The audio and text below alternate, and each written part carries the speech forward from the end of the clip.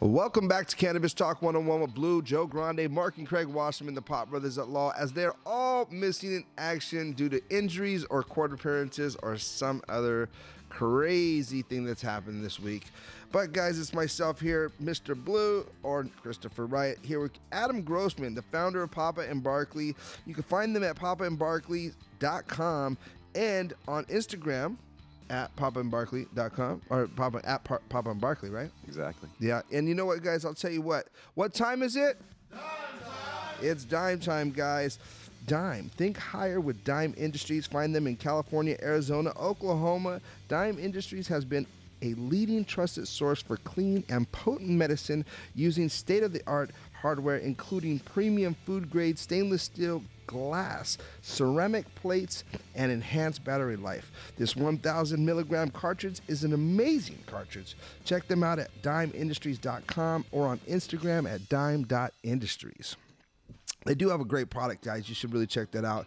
You know, one of the things I, I, I try to do is find, you know, good product lines, and, and uh, Dime does have a, a quality product out there. Uh, you know, so listen, you know- I, I, I really, I really, really, really like your story because to, to me, I, I think a lot of people don't realize, um, Adam, that the industry comes from a compassionate place. Like the cannabis industry is is unique in in you know, and there's a lot of, and I, I'm all for making money, you know, and I, I'm all about making money. I, I don't have no problem making money, by the way. But I, but I think there's a lot of people that come in and, and, and grab, you know, they're looking to grab, and and I, and I don't think there's a problem with that either, as, as long as you have a good product, you know. But you have one of those product lines that that you know you guys are doing well. You guys are very well known, but you, you have a real story that it starts with that makes it so compassionate, and then the message that you continue to deliver is powerful, right? And it's like every time I, I, I talk to you guys or talk about you guys or, or hear about you guys, it's always something in the compassionate realm, and, and that to me is is why you'll be forever here. Do you know what I mean? Like I look at that and I go, you know, there's a lot of companies that I, I've seen come and go throughout the, the years and years of being involved in this. And some of them are, you know, have done a lot of money. And they're just like, I'm just done. I'm out, you know? And it's like, okay, cool, good. And then there's some that are here because, and, and they're not going to be here tomorrow. I, I really believe, you know, you have one of those brands that are just going to be here forever. And, and that's huge. You know, it's like, it's, it's, it's like a, and I hate to use this analogy because it, you know they're not even close to the same, you know, but Coors Light, Bud Light, you know, or vodka, Tito's, or, or you know, one of these major Budweisers, you know, you're a, Papa's Papa and Barkley is a is a staple in the cannabis community, you know. Well, you know, we we um, where we've done well, I think, is here in California, and sometimes it can be overly California centric. It's it, it's it's definitely challenging business to to be profitable in given all the regulatory costs and everything. But I, I appreciate what you're saying about the strength of the brand, and and I really think it it does come from the mix of having a true mission and some of the things that we stick to that are not always the easiest things to do all the products that we make, we make without chemicals, and they're all full spectrum products. So, like when you cook the, the oil in, in, in sorry, you cook the cannabis flower in coconut oil in the crock pot, um, the full spectrum of the plant, if you took a certificate of analysis on, on that plant, the breakdown break down in percentages of THC, CBD, CBG, the full spectrum. Um, and then you took a similar test of the oil, it's going to reflect those same ratios. So that, Sure. that we always, so that's that the full spectrum concept, which you understand well. So none of the, yeah, but none of the, none of the, you don't do any, um, you know, broad spectrum at all. no, everything we do is full spectrum, Everything. solventless. And um, and want to ask you this, and I'm trying to find the right words because you know I've heard you know sometimes broad spectrum is snake oils, or you know, do you believe that, or do you think that just it's just a different, uh, you know, uh, different layout? You know, I mean, is this Look, I, I think that there's there's benefits in different formulations, and it's it's highly variable. But in terms of a philosophy for us, it's sort of uh, what you introduce when you have um, broad spectrum or isolate is a a process that's more akin to like the pharmaceutical industry, where you're isolating an individual molecule or the THC or the CBD. Right. What we're doing is more akin to plant medicine and the artisanal methods to just take this amazing medicinal plant, keep it it, intact, and then transfer it into products. So if you think about when you cook it into the oil, since the it's lipid based, it's sticky, waxy, Yeah. it's an oil, so it, it binds to the molecules in the oil and then it's melted into the other. It's a little different than you isolate the powdered version of the medicine and then mix it into a cream. Right. That's going to give you a different result. So for us, that's where it's real, where some of the more traditional methods, artisanal methods, and mechanical methods that preserve the, the integrity of the plant, that's why we think we make better products. Wow. Yeah, that's awesome, dude. And, and you know, I, I've actually, um, you know, used some of the product in uh, years ago, and it's has the formula changed, or has it always been the same?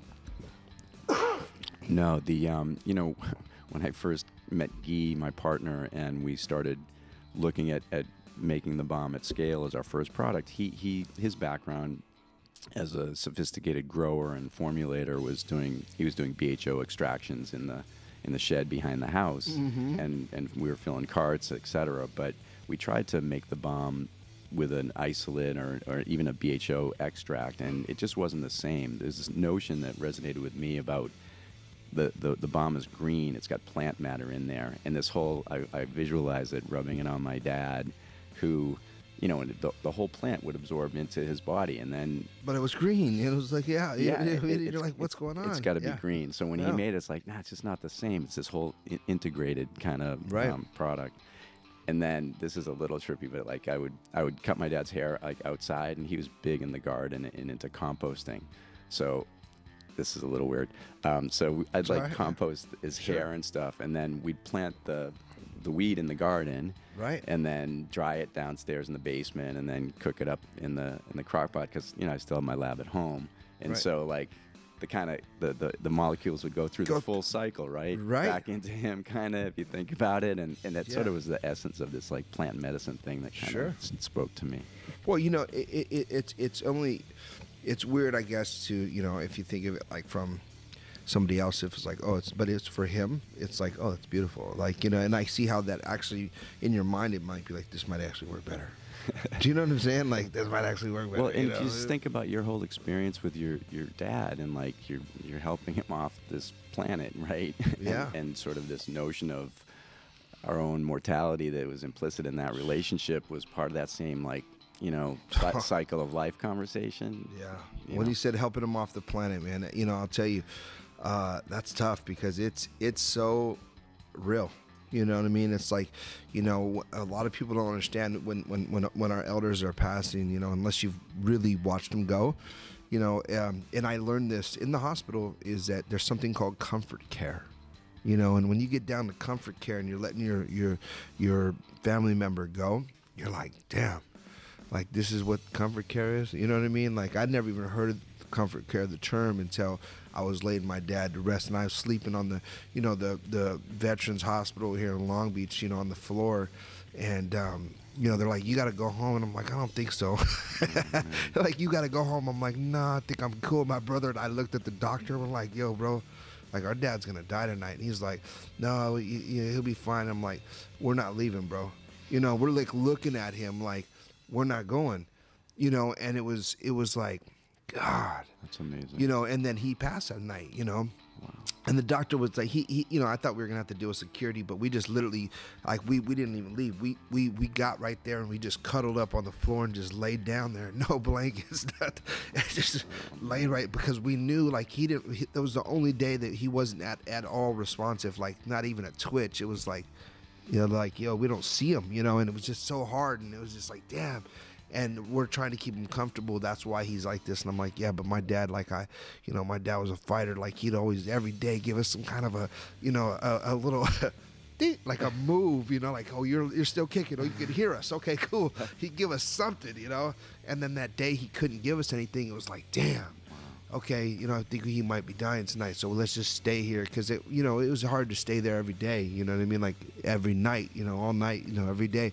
But we'd be there every day after work or in the mornings, you know. And, and finally, like I said, that last day, as my brother and I just kind of knew, and then he wasn't expected to die for another two days or something, according to the doctor, but and, uh, and we- we were both like, "Nah, he's gonna, he's gonna pass." We just laid there on the floor that night, and uh, that was his, his last night. But that's learning about that comfort care and understanding that what these products can do for people is is is truly, you know, one of the reasons I believe so heartily is, is being in the cannabis industry is because we're doing something that that you know not everybody understands because for so many years it's been demonized mm-hmm. you know and and and probably right in some way rightfully so because how it was used right? It was used for you know party celebration sometimes and maybe not for all the right purposes but at the same time you know while others may see that's party and celebration we see it as rituals and and meditation you know and that's where it's like that party and celebration to you maybe my ritual and meditation meditating you know what i mean? Versus just like us here we're gonna have shots or we're gonna do this. You know the other people will use cannabis for those things so uh, this brand is, is is is a solid brand, guys out there. If you if you're you know looking to get quality CBD or THC, man, make sure you check out Papa and Barkley. They do have a superior product out there. And, and is there anything that we you know didn't cover that you that you do want to cover at the at the moment? Well, first of all, I want to thank you for. We're not sharing- gone yet. We're not leaving. I'm not cutting you out. I got a whole nother segment with you, but just just just to let you know, don't. But but anything else that, like right now that Yeah, well, I, I, I- did want to thank you for sharing that uh, story and, and that experience that you had with your brother. That was powerful and Thank you, man. intense. And in terms of other stuff for us, I mean, I mean, I would tell you about that we're based up in Eureka, which is uh, Yep. the, the center of Humboldt County, and we work with the farmers up there, and that's part of who we are as well, trying to support the community and access the best sun-grown flower that uh, that we can get to make these products. But now, any cool farm you want to shout out? Where, where, where do you get? You have your own farm or? Uh, no, well, I would shout out uh, Alpenglow Farms. Craig Johnson is an amazing grower who I respect a lot and is doing all sorts of interesting things up there. Um, Mike Egan, who is not only a cannabis farmer but is a mushroom farmer, and those guys are together doing some interesting things with uh, mycelium injection Nice. into hay bales, creating a soil medium for Nice. new cannabis plants and some We gotta get them on the molecular show, cross pollination shit and whatnot. Yeah. so uh, yeah. Uh, yeah, shout out to those guys for sure. Great, Emerald yeah. Queen Farms as well. Dave. Fantastic, man. Well, listen, guys, it's Cannabis Talk 101. When we come back, we're going to do the high five with Adam of Papas and Barkley's. It's Cannabis Talk 101. We'll be right back after this break.